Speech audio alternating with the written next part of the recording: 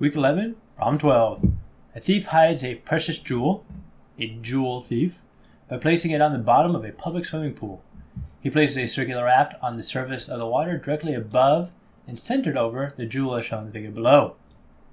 The surface of the water is calm. The raft of diameter 3 meters prevents the jewel from being seen by any observer above the water, either on the raft or on the side of the pool. What is the depth h of the pool for the jewel to remain unseen? Oh, the physics professors that think this up. Like, if this wasn't problem wasn't so frustrating and causing you so much stress in life, you'd probably enjoy these type of questions. All right, so let's look at this conceptually, see what's going on here. So let's say we got your little guy right here, and he's looking down from this point here. So he looks down like this. Then we would have um, sine of theta, uh, Snell's law. So sine theta 1 over velocity 1 over sine theta 2. Velocity 2 means that if we come in here with a zero angle uh, with respect to the perpendicular, we're going to have a zero angle coming in this way too. So it's not going to help us out. Right? So if we do something more, look from over here, it's going to bend down. From over here, it's going to bend down. I think the maximum we're going to get is if we look straight, like straight on, top of the pool, hits hits this point right here, and then comes all the way down like that. I think that's the best we're going to get for trying to see this jewel. So we want to look at our best option to see this jewel and then ensure that it fails. So I'm going to say from here, we're going to look straight across and then right there. Perfect. And then I'm going to make this do another line like this. But you are going to be the perpendicular. Ooh, I'm going to use black because blacks make better perpendiculars. Like that. That seems reasonable. Okay. So I think this is going to be our best chance here. Looking and just barely look at the edge, and then it's going to bend down. Does that work? Yep. So it's not actually 90 degrees, but it's like slightly less than 90, which I'm just going to round off to 90. So this would be theta 1.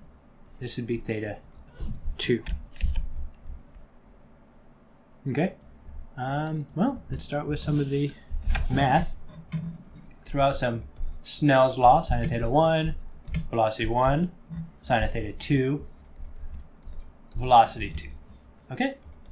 So, theta 2, so you're going to say sine of theta 2 equals v2 over v1 times sine of theta 1. Now, they don't tell us the index of refraction for water, do they? Okay, so I'm going to make some assumptions here in life. And by me, I mean Wikipedia. Index of refraction.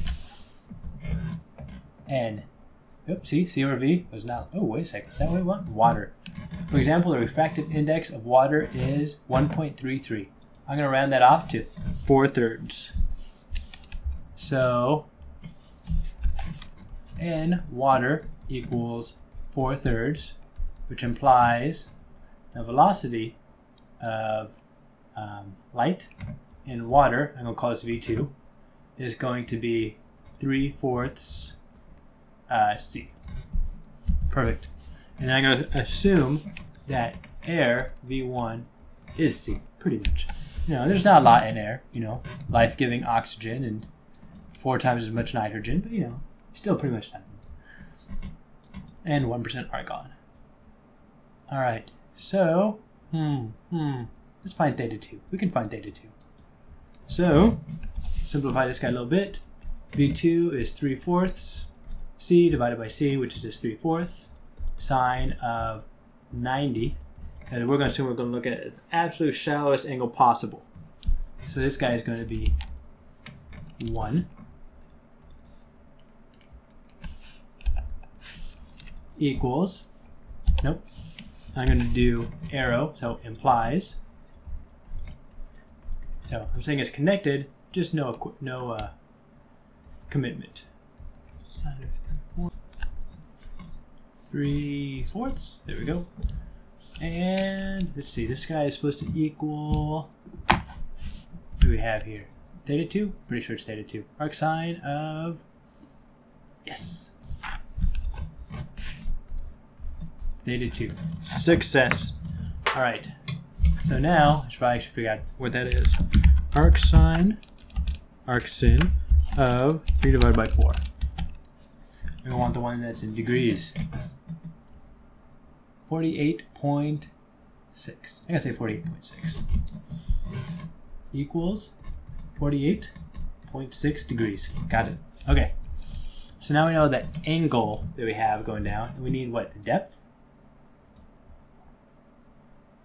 Hmm. Okay. Yes, what is the maximum depth for the pool? Okay.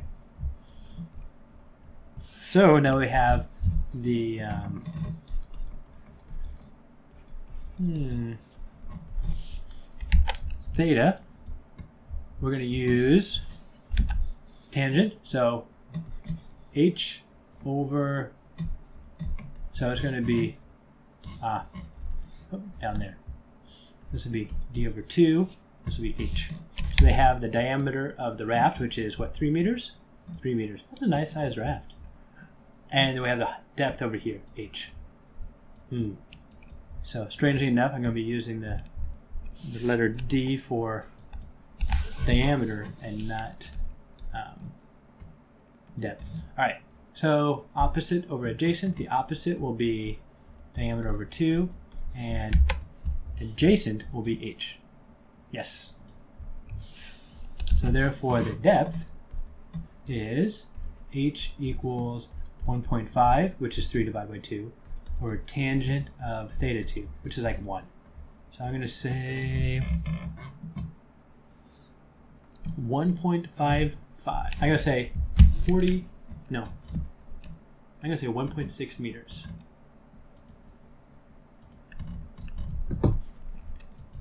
One point five divided by tangent of this.